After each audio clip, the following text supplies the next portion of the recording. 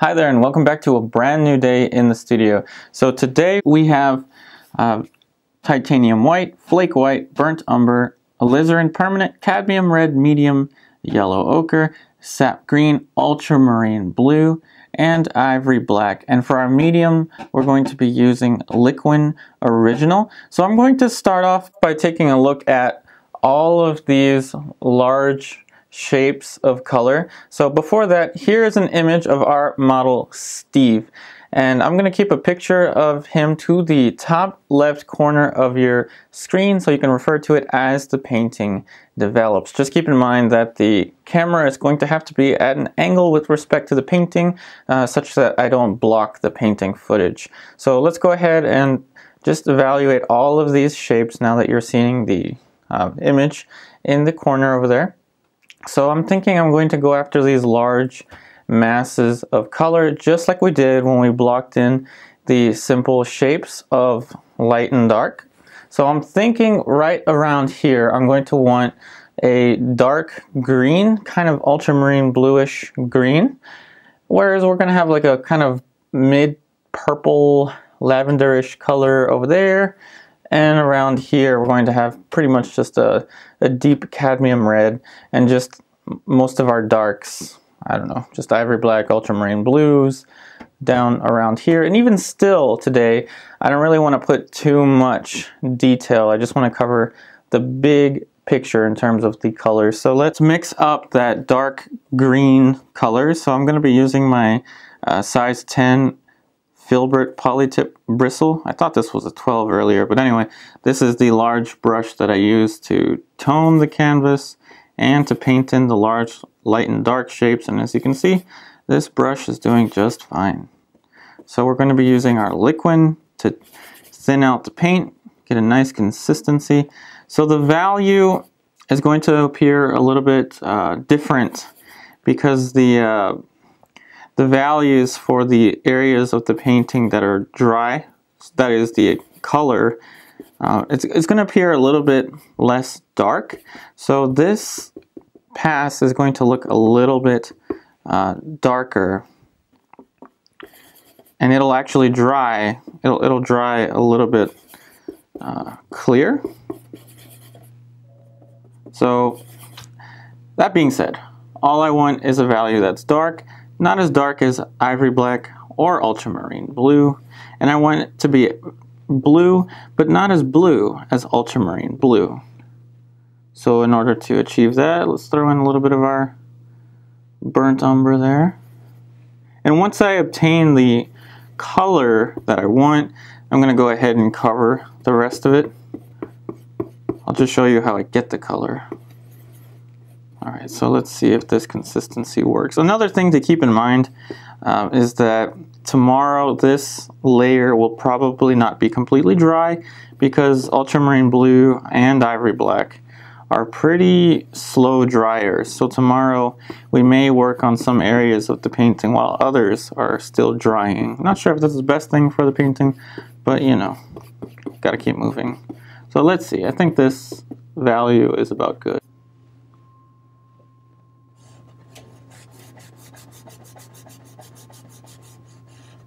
So what I'm going to do is just apply a little patch of the value right next to the flesh tone.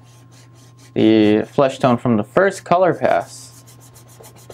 And I'm going to stand back and see how how that value relates to the value for the flesh tones. I, I think it's all right. I think it's, it's good. Now that the value is working out, I think that the color could change a little bit. I'm not going to try to nail the color perfectly because I know that we're going to we're going to be working on this for some time. So we'll come back and adjust the color um, when needed. But I think that the value is good, but the color could change a little bit. So we're going to throw in a little bit more of the sap green,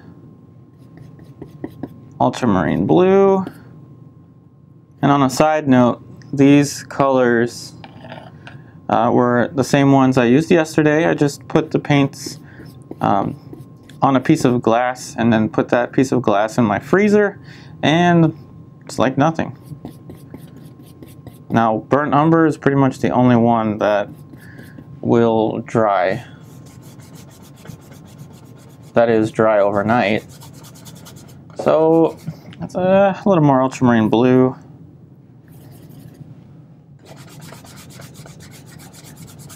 Might not be perceptible to the camera, but it does have a kind of a more bluish tint now, but still, still, still. I want a little more green, so we're gonna throw in some yellow ochre, ultramarine blue, a little bit more Neo Megilp. Neo Megilp, man, I missed that medium. I still need to go back to the art store.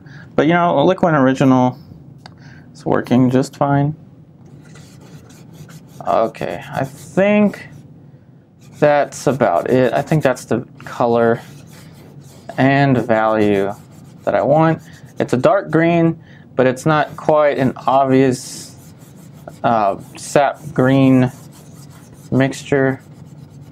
So, tell you what, I'm gonna go ahead and cover the rest of that.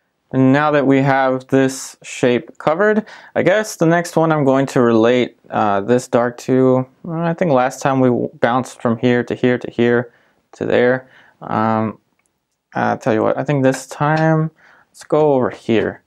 Um, so uh, that's a dark reddish color, almost impossibly dark to see in the photo reference.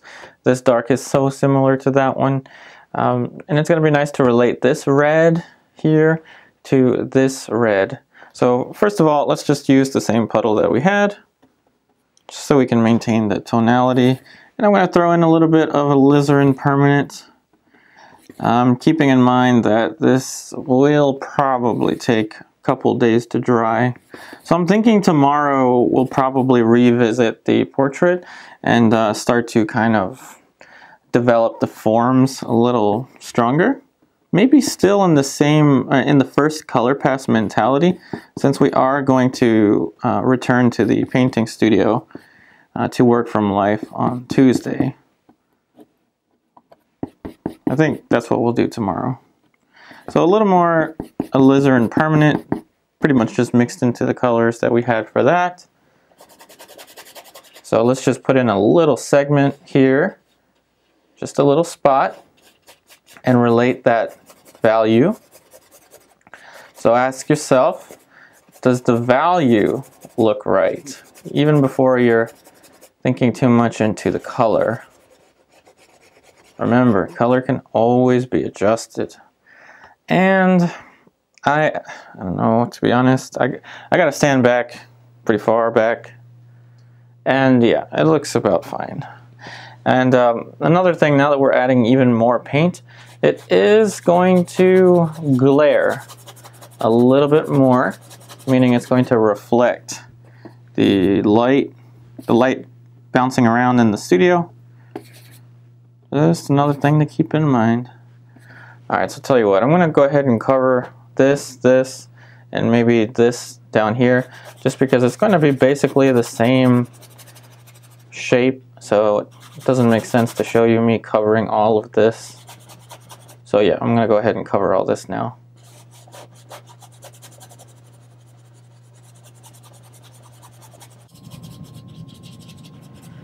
Alright, now that we have that covered, I know that I still left this, and uh, I did change kind of the shape of the armrest of the chair. Notice it kind of curves up.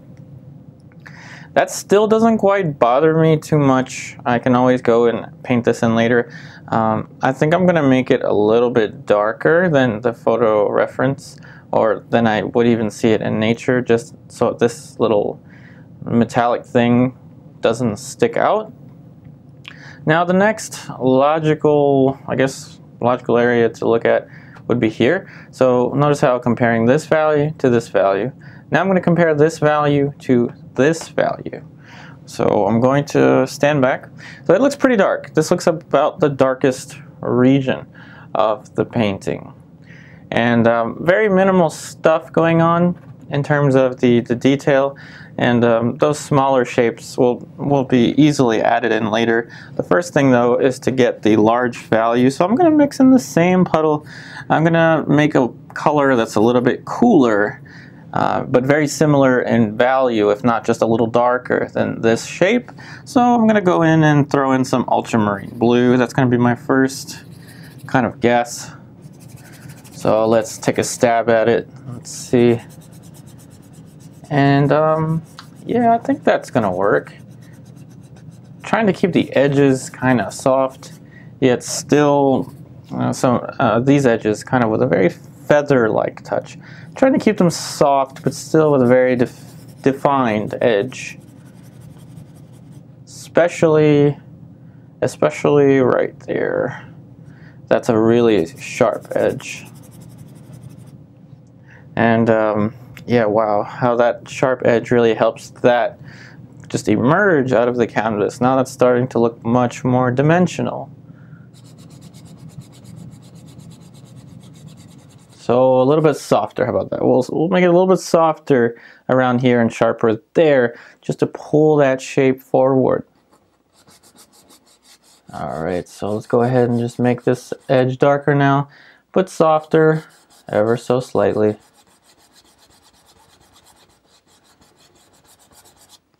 And um, I'm letting the underpainting show through.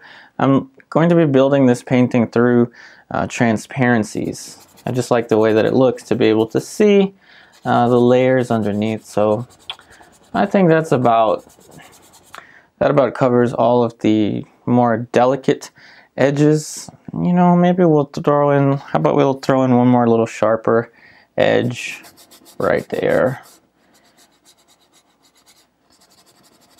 Doesn't quite have the impact as this one does. But all right, now I'm going to go ahead and just cover the rest of this dark shape.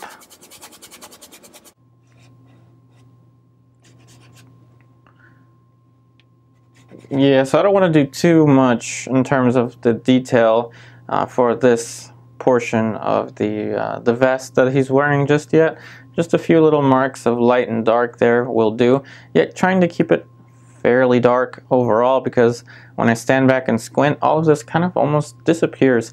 So the next area to look at, well, I could look at, say, this one, since this one is right next to this one, uh, or I could look at this one, since this is right next to this. I don't know. What do you say? What do you say? This one. So I'm going to relate this shape also to this shape. So it's going to be uh, pretty dark, but not as dark as this. So I'm going to take that into account. Let's just mix into the same puddle. Why not? So a little bit of cadmium red medium into that area. And another nice thing about mixing right into the same puddle with the same brush is it kind of uh, neutralizes these colors. I don't want to put anything too bright.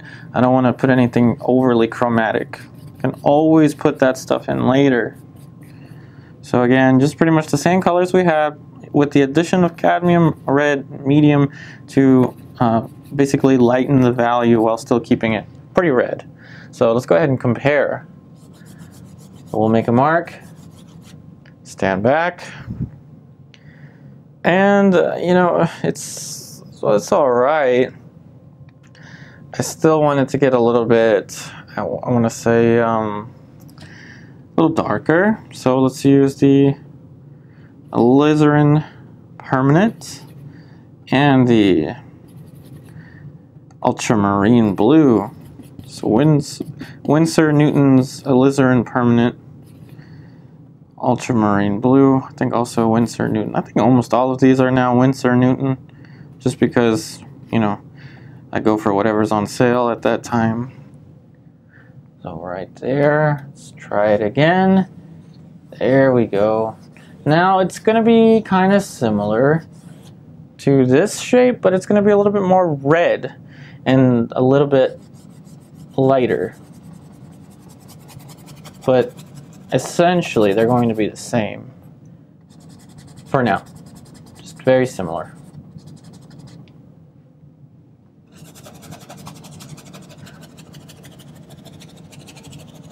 So I'll show you how I deal with this edge and then again I'm just going to cover the rest of that shape. No need for detail at this point. So this edge, an, an elusive edge, really. It's I want to say that it's sharp, but it's not sharp. It's kind of like an in-between edge. So just by running the brush, letting the brush fall ever so slightly, we can get that kind of quality that we're after with the edge. And um, I guess one more thing before I cover everything in the blink of an eye. Um, with a little more ultramarine blue, we are going to put kind of a sharper edge over here, right there, just to get that shape. See how that's kind of just like jumping out now? Just to get that edge to pull focus. There we go. See how quickly we can get the the thing to look like the thing, or at least start to appear like it. Like it's now it's starting to look like something is emerging out of the canvas there. And I'm gonna soften right around here. Sharpen there, sharpen here, sharpen here. A little more paint. Let's get it. There we go. So sharpen there. And we're gonna soften over here where these little pieces of uh, paper um, intersect one another. Alright, so now that we have that, that uh, little edge established, now we'll just go ahead and cover the rest of this dark shape for the shadow here. Alright, so now that we have all these shapes uh, painted in for the dark of the fabric, I'm going to go ahead and just uh, separate the light now into just two tones. So let's start with the first one. Just added a little bit more cadmium red medium to it. So the aim, well, let's use a little bit of uh, ultramarine blue. So the aim for these two tones is to introduce very simple planes.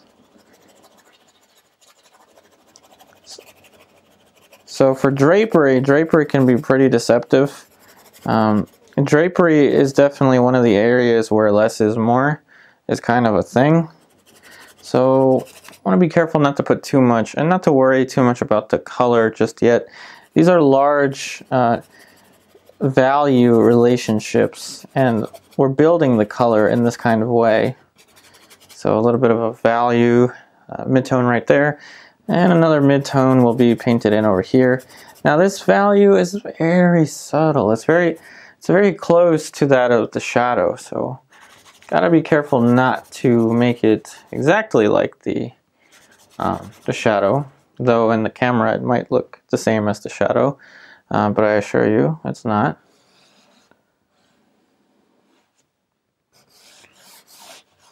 Okay, so let's go ahead, a little more cadmium red, a little bit more cadmium red into that end, tiny bit more ultramarine blue, because there's going to be a pretty definitive plane right about here.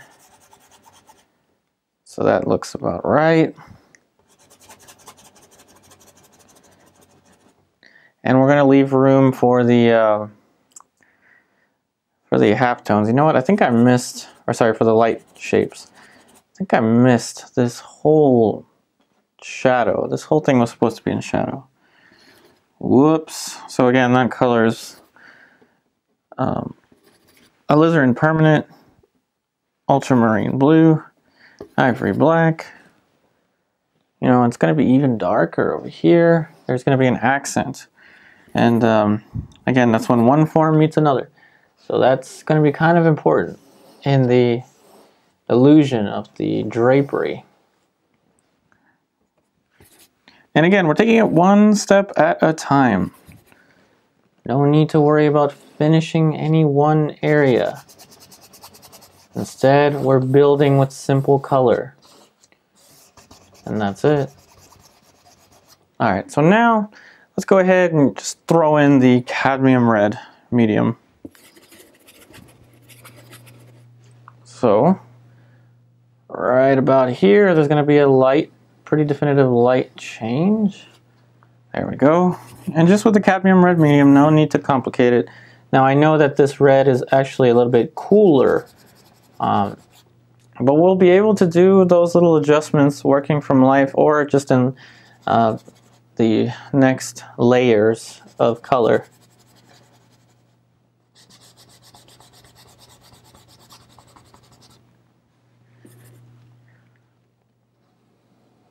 A little bit more of a bright shape there. Super simple.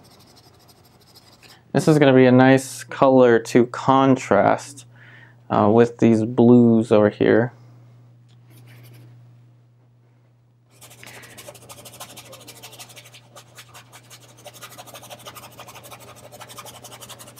Alright, so that looks about alright for the light shapes. So just cadmium red medium. Don't need to complicate things.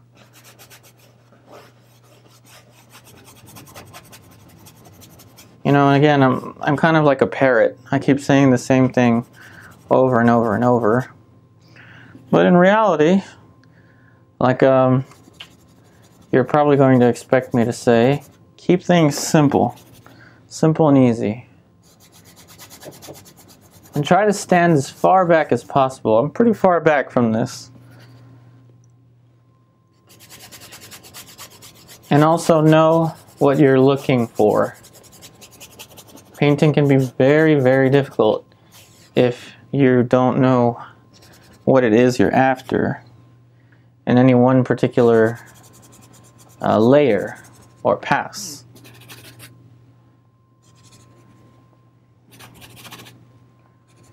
A little more of a dark shape in there. All right, let's go ahead and cover this really fast.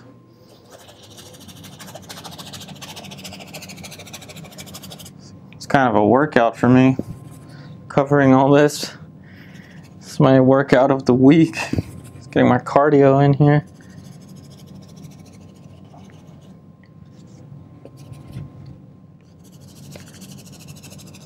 And that's the fun of big paintings. I really, really enjoy big paintings. Um, you know me, I like to walk around in the National Gallery of Art once in a while and just stand there and stare at the Sargents, the Peter Paul Rubens, all of those paintings. All right, so the next logical, I guess, um, area to cover would be this because it's a red shape. It's pretty pretty similar to this, but you know I think it's a little bit darker. So I'm throwing in a little bit of burnt umber ultramarine blue right into this little area of the palette. So let's go ahead and just put that shape in there. There we go.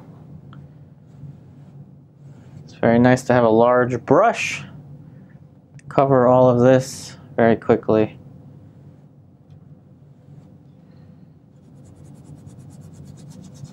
So again, the burnt umber helped to kind of, Don't know, change the hue of this in relation to this. Alright, so the next thing would be, I guess, the light shape for that book. Getting a different brush, we're to put some yellow ochre right around here, some burnt umber. There we go. And just like that, very simple. Now we have a light plane for the book. I'm going to leave that light alone for now. Um, I'm going to get a different brush and we're going to look at the light green. Let's put some more Liquin Original, mixing in a different area. I'm going to use yellow ochre, sap green, burnt umber. Let's try this out. And that looks about right. Might be a little bit dark, so let's add a little more yellow ochre, some more liquid.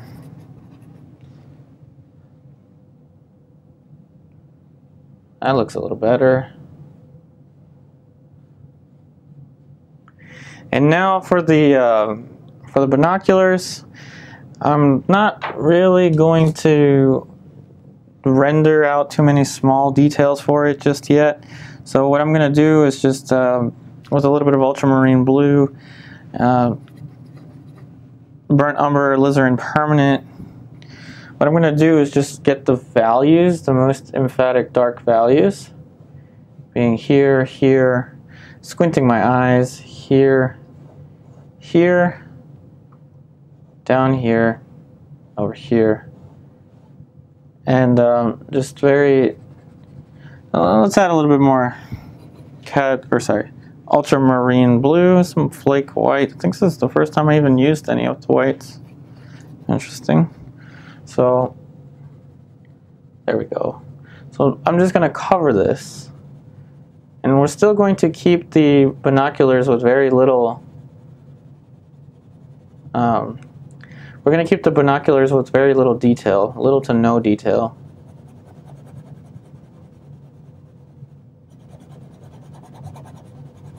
Just the shape.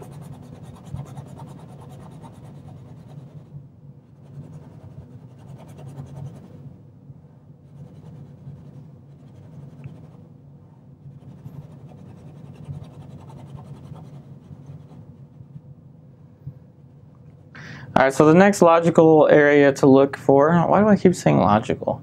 The next area to look for, know, I guess contrasting this shape with that shape would be kind of nice. And maybe I could even use, nope, nope, nope. I'm gonna use a larger brush, larger brush, there we go. So this is gonna be a size six filbert. So I'm not going to, of course, put in all the details for the globe just yet. Honestly, I have no idea how I'm going to paint in all those details. Uh, we'll figure that out later. So first of all, let's just look at the big picture. So with a little bit more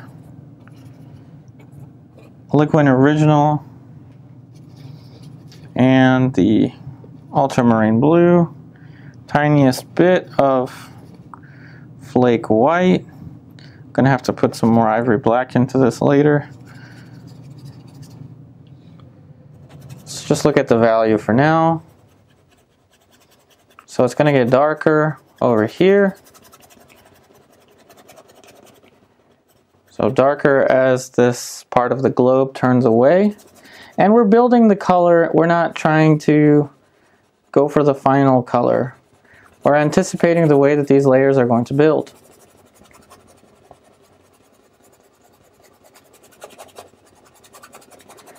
I know, I know. I need to use a bigger brush for this.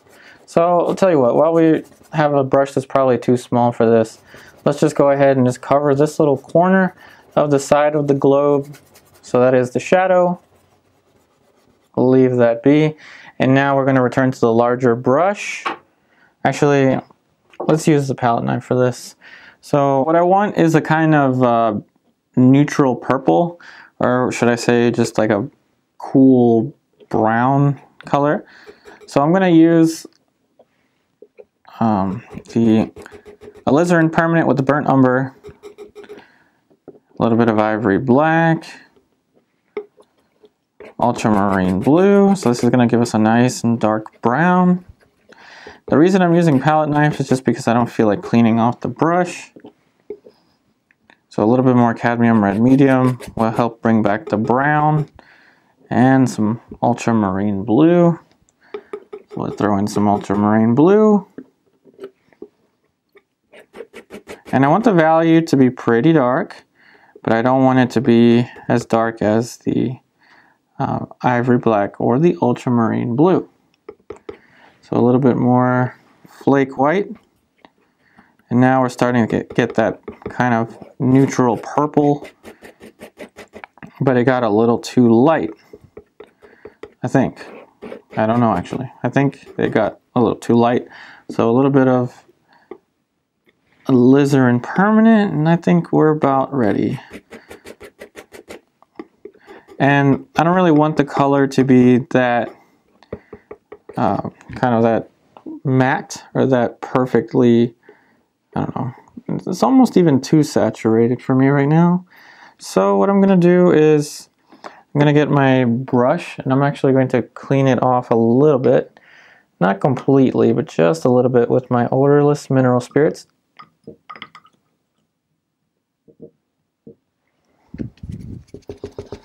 Just dab it dry on the paper towel. Sorry for the palette shaking there. Alright, that's clean enough.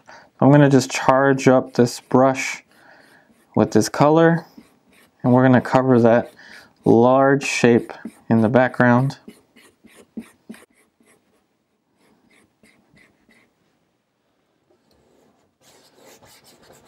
And that's actually pretty good. That's the, uh, the color and value that, that I was after.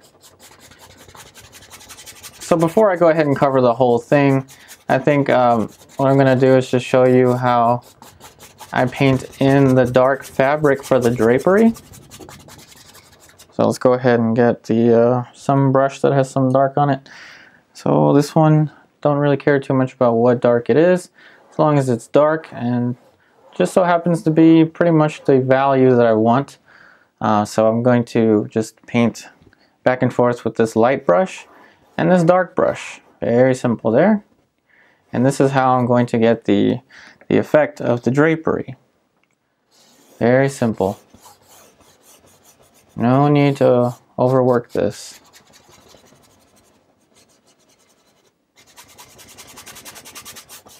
Alright, tell you what, I think I'm to go ahead and just cover the rest of that. Yep, that shape took quite a long time to fill in.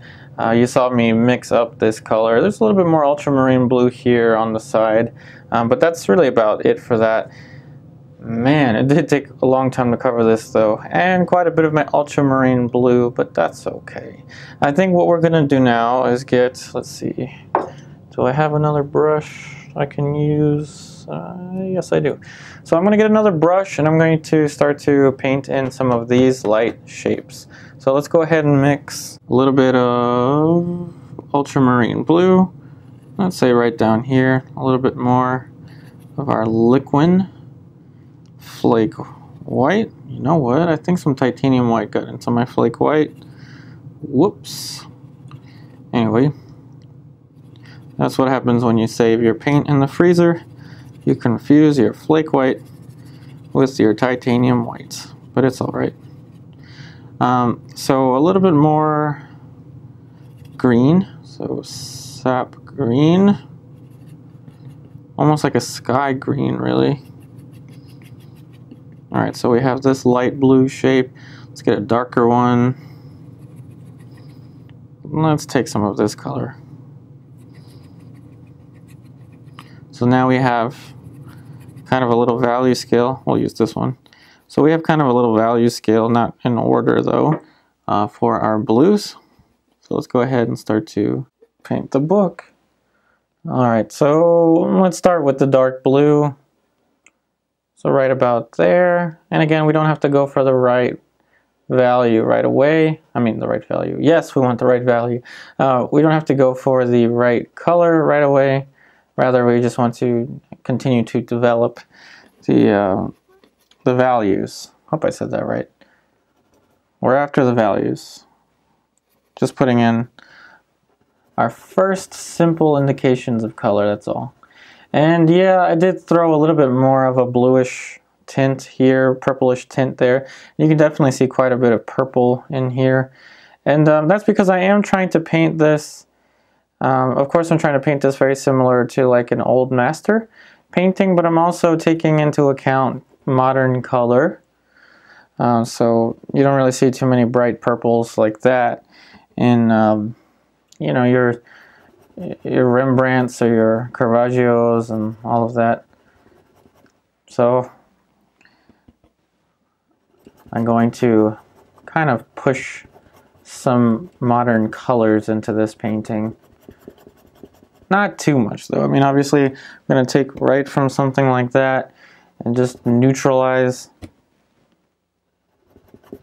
just neutralize that purple just so it's not straight up purple. It's easy to paint a regular, your regular everyday purple um, and not really pay too much attention to the saturation. So we're trying to be careful not to oversaturate. Just taking from all over the palette just so we get something to neutralize that purple.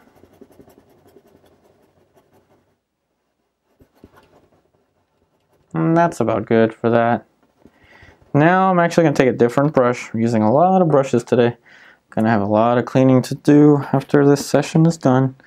Alright, so we're going to go ahead and throw in that blue that we mixed up earlier. This brush is kind of little too stiff, but oh well. Let's go ahead and mix a little more of that color. So it was just the uh, titanium white ultramarine blue, sap green, so we're making kind of a sky bluish color.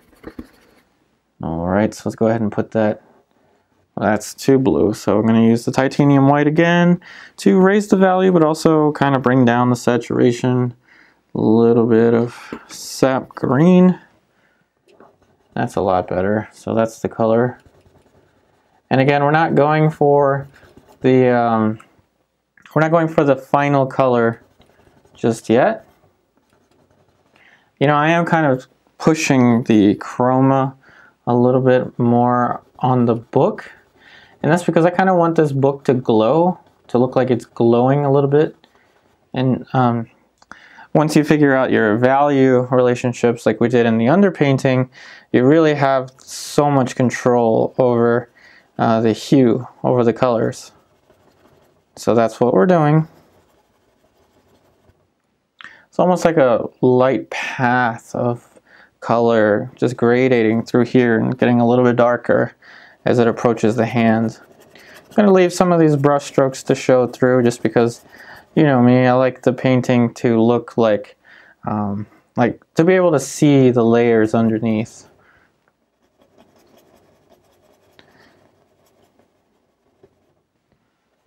And we'll, we'll add all the little details and nuances of this book um, later after this layer dries. So let's see, let's get this dark brush. Let's put this little plane change here. This is a literally a plane on the book that's turning away from the light. Whereas this shape over here is turning towards the light. And we're almost done. I'm just covering these light blue colors. Um, just so we can move, so just so we can be ready to start to apply more elaborate shapes in the still life later. Don't know what I'm going to do tomorrow. I think tomorrow we're going to try to make the face look more realistic, like come to life.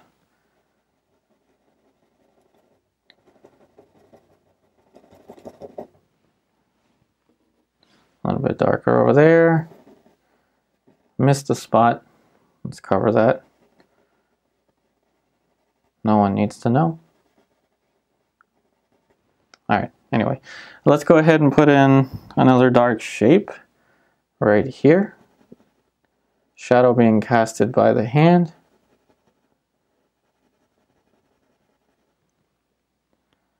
There we go. And all the little details for the book we will be able to paint in, uh, like I said before, later. And so now I'm going to take the, hmm, you know, I'm tempted to paint with both brushes like this. I'm going to take the large brush and I'm going to clean it off.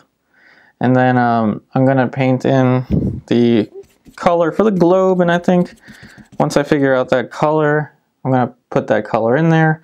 Very simple. And then I think we'll call it a day after that.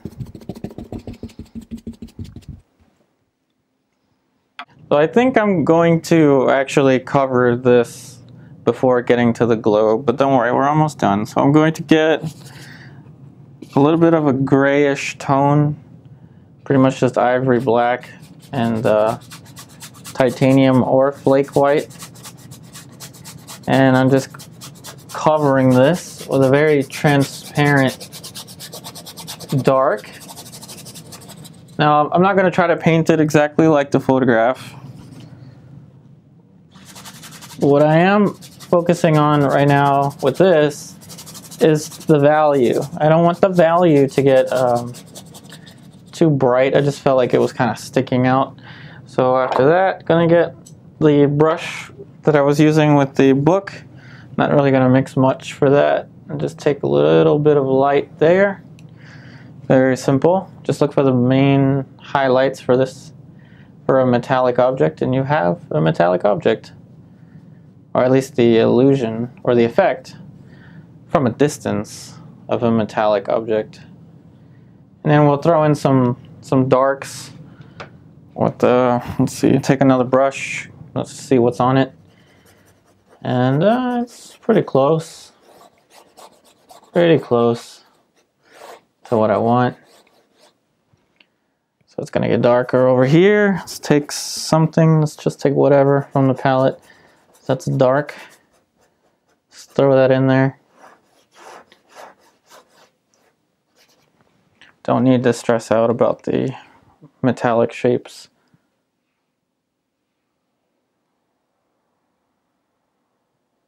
And that's that. Now let's get to the globe. Now after cleaning off this larger brush a little bit, I'm going to get a very similar color to what we had for the book, but just a little bit less blue. I don't know. So we'll throw in some alizarin permanent and let's just get a little bit of this little greenish color that was already on the palette. And I want a blue that's not too saturated.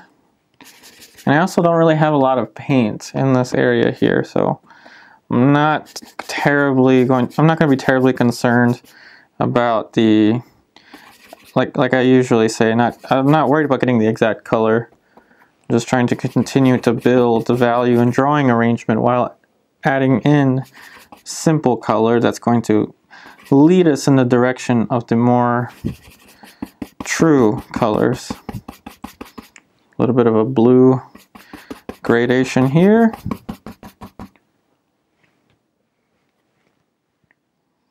See how we have a little gradation of blue? That's what we're going to use. So this is what we're going to use for the globe.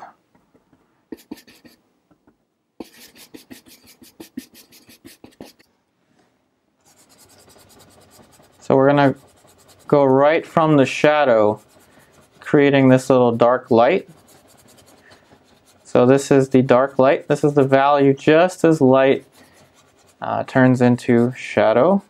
And again, I'm still not terribly concerned with having a perfect sphere today. I can always come back,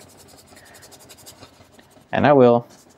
We will come back and uh, make it much more exacting, but we want something that we can work with. And again, this is a very large painting, so we want to cover pretty fast.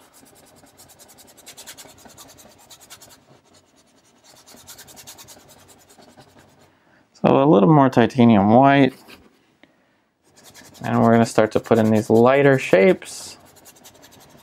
Very soft touch. And as you'll notice, certain areas I'm leaving in their underpainting color and the grisaille color, uh, which is on purpose. I want to leave some areas in the underpainting just because they're pretty close to the color that I want. So I don't really think that I need to cover every square inch of this.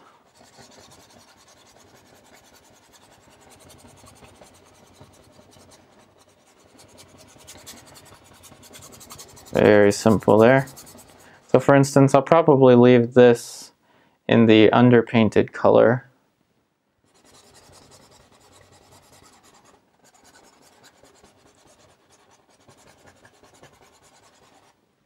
A little bit more of a highlight, throw in some, some more titanium white.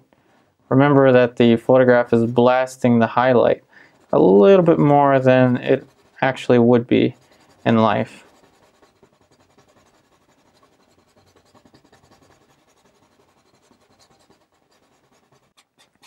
And so I think that's going to be about it for today. So today we covered quite uh, a lot of surface with this color pass. That being said, it is my hope, my dream, and my ambition to bring the experience of being here in the studio creating uh, classical realist paintings or creating paintings in general, creating painting videos that impact the lives of people in a positive way. And it all starts with you. I really hope that these videos help you out. I wish you the best in all of your artwork. And as always, I'll be back again in another 24 hours. And this is what the painting looks like, as close to front and center as I can possibly get the camera. Now there are major problems with having the camera front and center and that's the reason why I don't film is because of that and because of the fact that I would cover the canvas if the camera was front and center. But anyway, that is what it looks like after today. So I wish you the best in all of your artwork and I'll be back again tomorrow.